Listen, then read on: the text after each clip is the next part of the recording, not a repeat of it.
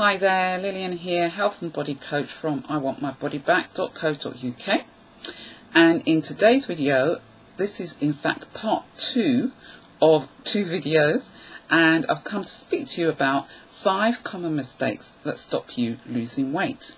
Now, if you haven't already, go back to part one and watch the video there because in that video I shared three of the five mistakes that I've seen most people make but in this video I'm going to be sharing the remainder two common mistakes. So continuing on from that last video, I'm going to start with mistake number four. So, uh, as I mentioned, let me debrief on what I mentioned in part one. So most people um, I've heard complain that, especially those over the age of 40, Lillian, I find it hard to lose the weight. What can I do to lose the weight?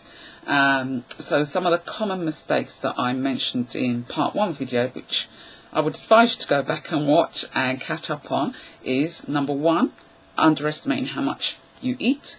Number two is cutting out fat or avoiding it altogether. Um, you know, end up cutting out essential fats as well as the bad fats. Um, and mistake number three is not fueling before exercise and after exercise.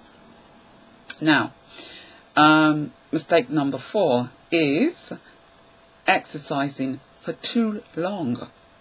Yes, exercising for too long. Now, I used to do this. I used to exercise for hours on end simply because I love exercising.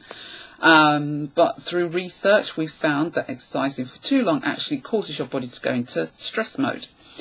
Now, I've seen it myself in the gym, ladies who want to lose the weight, feel the burn type of thing um, will go and slog it out in the gym. Men as well, slog it out in the gym for hours on end, go to back to back classes. I, I hear people say, Oh, I've done four classes today, three classes today.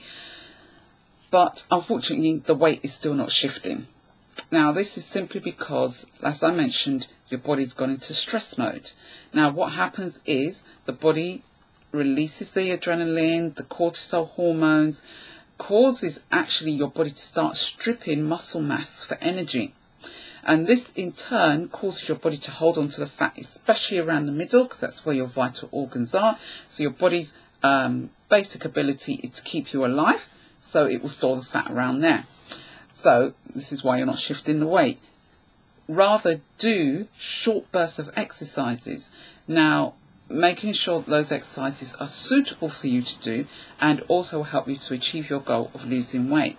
So, for example, you could do um, jack, jumping jacks followed by some squats, jumping squats maybe, followed by some lunges or press ups, but resting in between those exercises. So, just short bursts of exercises. You don't really need to exercise any more than 20 or 30 minutes at each time. Um, and this will help you to shift the weight. I've seen it with my clients. This is how I exercise as well, and I find this helps to get quick results in quick time.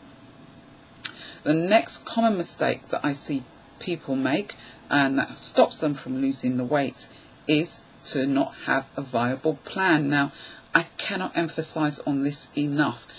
It is said that if you fail to plan, you plan to fail.